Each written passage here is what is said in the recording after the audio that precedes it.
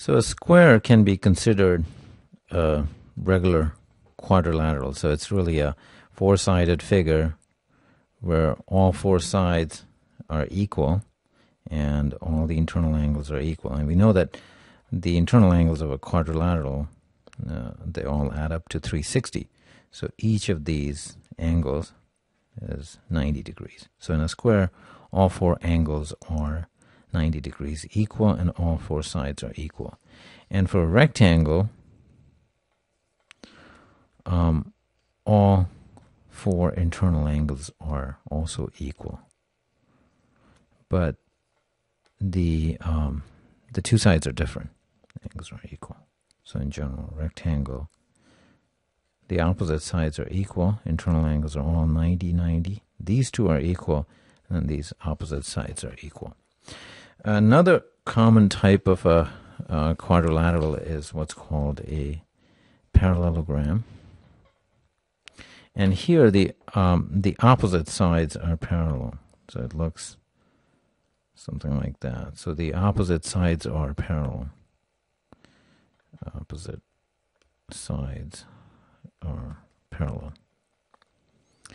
And if we let's say let's say we call this angle x and this angle is y. So because these two sides are parallel, I'm just going to draw it like this. And you can think of this as the line here. Then this angle is equal to that. And we notice that x plus y is 180. And we also notice if we draw this line, which is parallel to that, that this angle is x, which means this angle is x. So in a parallelogram, the opposite internal angles are equal. And here, this is y, because these two are parallel.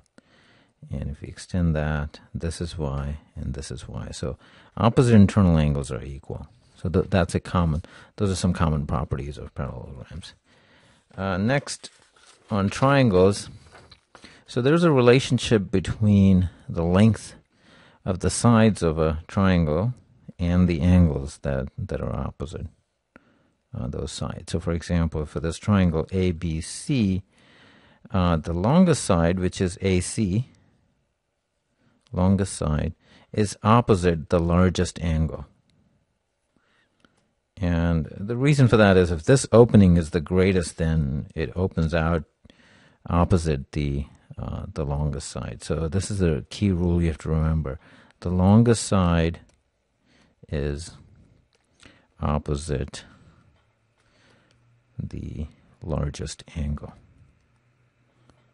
So if you have, say, angle B is greater than angle C, this angle being greater than angle C, then um, AC, which is this side, is going to be greater than uh, AB.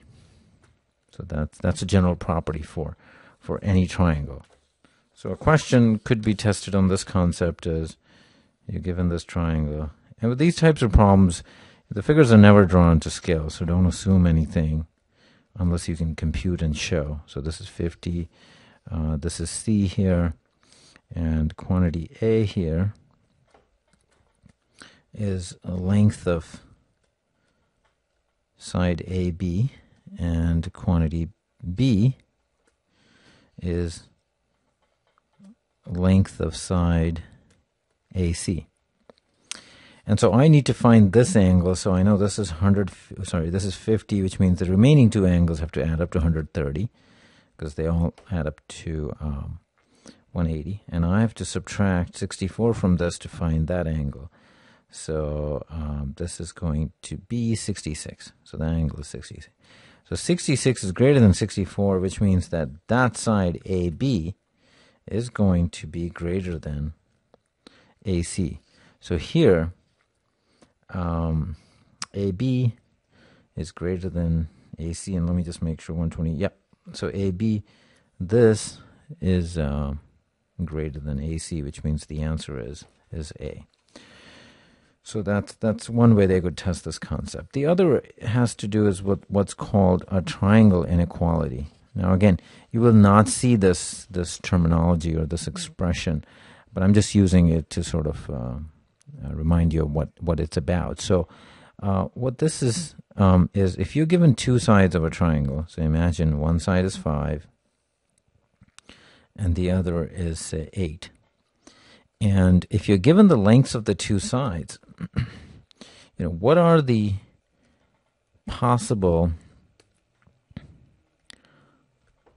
lengths of the third side of this triangle? Could it be anything? Could it be 15? Could it be 2? Could it be 0? So the way to think about this is imagine that these two sides are rods that are pinned here. So this part is fixed. And these rods can rotate anywhere. You can bring them closer, you can put them farther. So think in terms of, let's say, if this is the the two rods are in this specific position, then that's the length of the third side.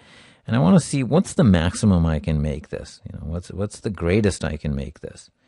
And I say, how do, how should I position these rods? So, so the approach would be if I were to stretch these out, if I expand them out, then I know that this is going to become, um, th- this third side is going to become longer. And if I flatten them out like this, well, then it's a straight line, but then this third side would be 13. Now, uh, because it has to be a triangle, it has to be a little bit, tad bit up. So we know that in the extreme, that third side has to be less than the sum. So that that's that's one one extreme is that the third side of a triangle has to be less than the sum. So that's the maximum.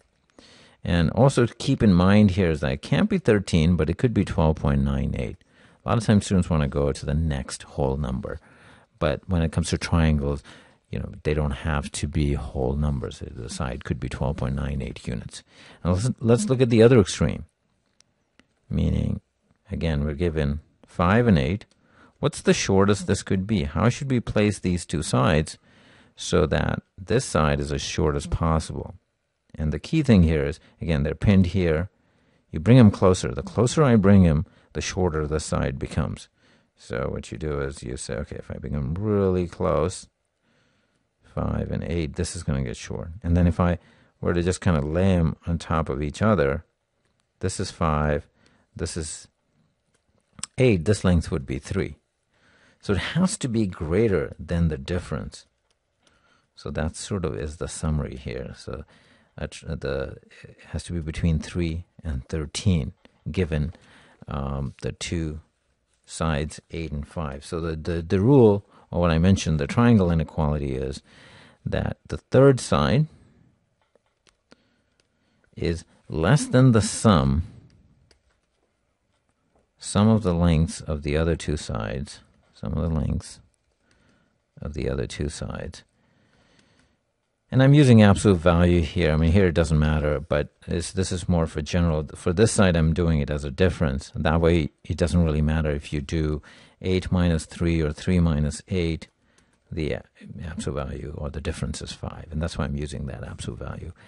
And it has to be greater than the difference of the lengths of the two sides. So that's that's the triangle inequality. And it might be tested uh, in different ways, and I want to illustrate that with one example. Here you're given that in triangle ABC, length of AB is 10.8 and length of side AC is 4.6 and quantity A is length of side BC and quantity B is 6.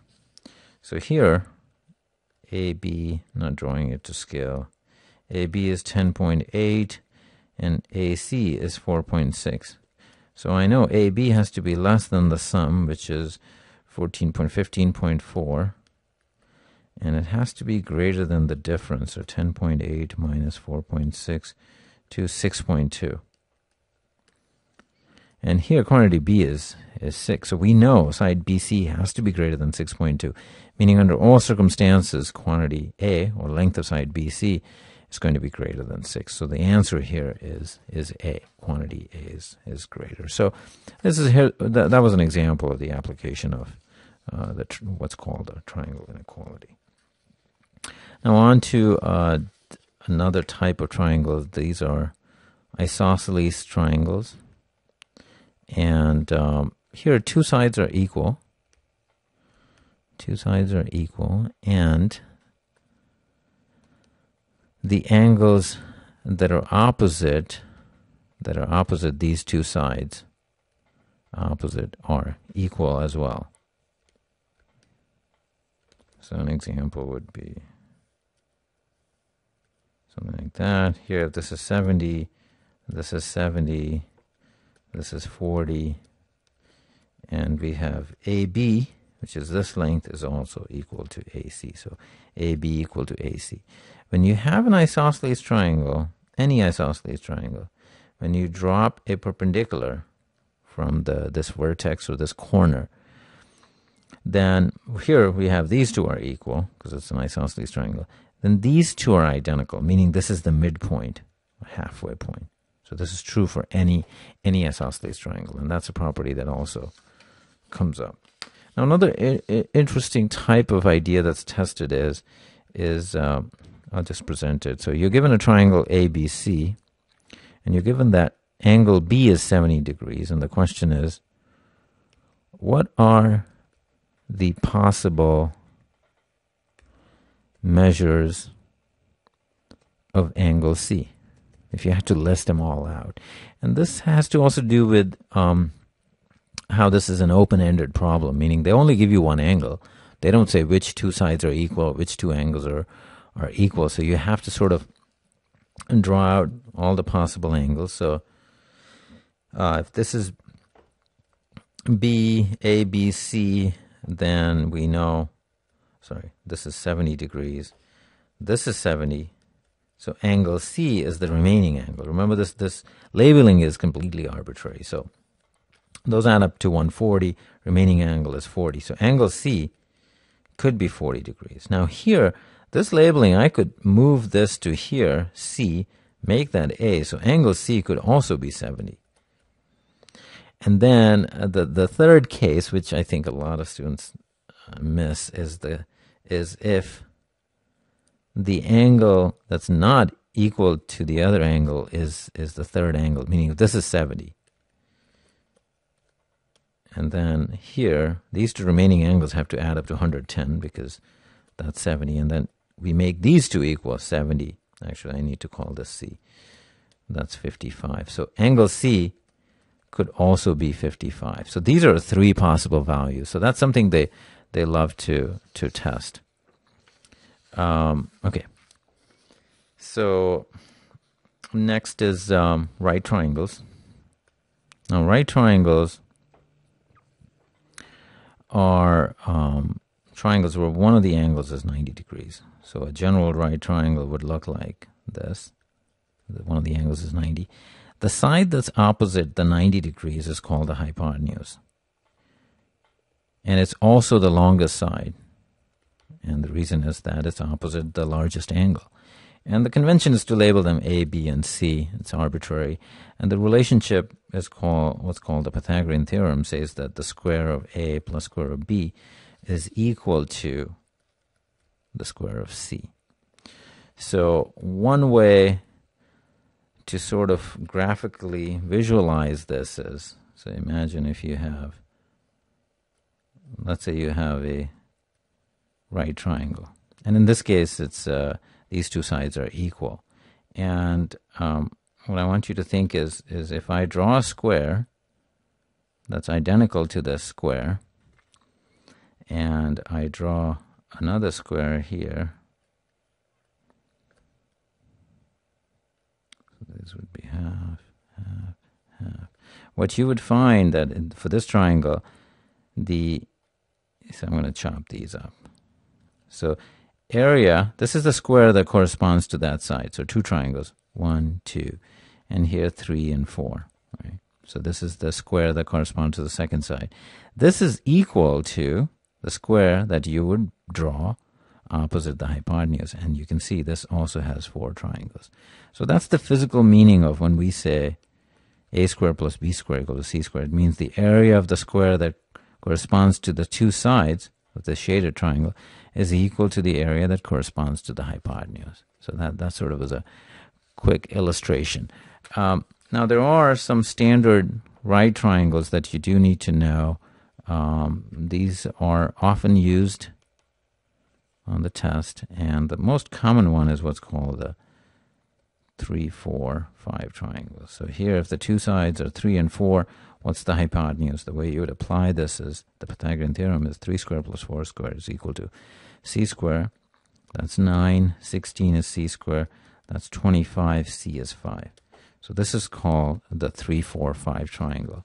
And you will also need to know the multiples, what I call the multiples of the 3, 4, 5 triangle, meaning sides that are, for example, you double each of the numbers 6, 8, 10. And so in general, triangles of the form 3a, 4a, 5a are also right triangle. So if you are given, for example, so if you, let's say you have this right triangle, and this is 15, this is 25, and they say, what's the third side? And what you have to notice here, that this is 3 times 5, this is 5 times 5, so this has to be 4 times 5, or equal to 20. So that's that's the use of those standard 3, 4, 5 triangles. Another one that shows up, I think the second most popular one, is you're given, this is 5, this is 12, third side, and um, it's good to memorize these, but if, if you don't, then the only option you have is to actually compute this. 12 squares 144. If you add these two, that's 169. And the question is square, what number is 169? That's 13. So this is the called uh, the 5, 12, 13 right triangle. And, and then there are some other um, less common ones, but they do show up on the exam. Um, one is the 8, 15, 17. So again, I would recommend you to kind of work these out and make sure that it is these are right triangles. Again, the reason the test writers like these is because they are all nice whole integers 7, 24, 25. And um, one of the things is, is, and this is for, you can apply this for finding one of the sides if the if they give you the hypotenuse. So for example, if this is given 25, this is 24, and they gave you this as x. To compute this, you can write x squared plus 24 squared equal to 25 squared. And then you say x squared is 25 squared minus 24 squared. And this is the difference of square form. So it comes handy for these types of right triangle problems. And that's 1, and that's 49, which means x is 7. And then you might also get some unusual triangles that you may have never seen before.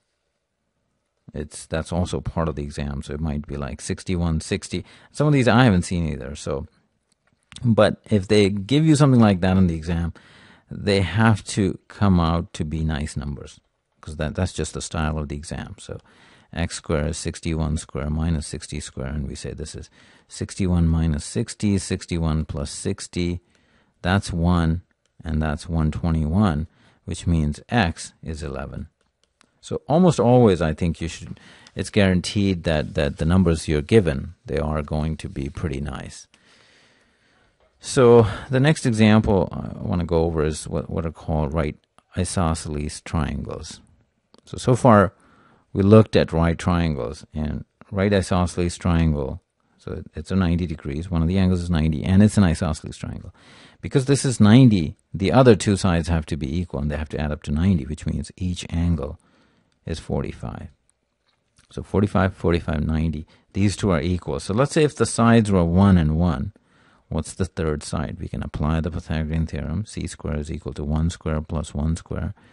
1 plus 1 is 2. So c squared is 2, which means c is square root of 2. So if this is 1, this is 1, this is root 2. And you can think in terms of if you had to kind of approximate these dimensions 1 1 this is about 1.4 kind of makes sense um, now if the sides were x and x which is the general property then c squared would be x squared plus x squared which is 2x squared which means c is square root of 2x squared which means it's square root of x squared times square root of 2 square root of x squared is x here we're just dealing with positive quantities So if it's x here, x here, this is x root 2. And the way this comes in handy is if you given a right isosceles triangle, this is 45, and they say this is 3, this is 3, then this is just 3 root 2. So you don't have to do the Pythagorean theorem every time. So a good way to remember the ratios is the angles are 45, 45, 90, and the sides are 1, 1, root 2, or x, x, x root 2. So either way, it's, it's handy to memorize these ratios. If you don't remember, then your backup plan is to use the uh, Pythagorean theorem. Okay. Next is what's called the 30, 60, 90 triangle. Again, another common one that shows up on the exam. And it's really what's called um, half of an equilateral triangle. So, what's an equilateral triangle? An equilateral triangle is a triangle where all sides are equal. Equilateral triangle. So, all sides are equal and all internal angles are equal. All angles are equal. And uh, here, the sum of these internal angles is 180, which means these three angles are 60 and it's also a isosceles triangle. So when I drop a perpendicular here, that's 90 degrees and cuts into half, and that angle is 30. So the half of that equilateral triangle is what's called 30 90, 30 60 90 triangle. So here I'm going to arbitrarily call the side of each side of this equilateral triangle 2. And after this, I'm going to do it in a more general way, but let's just start with if the sides were each 2.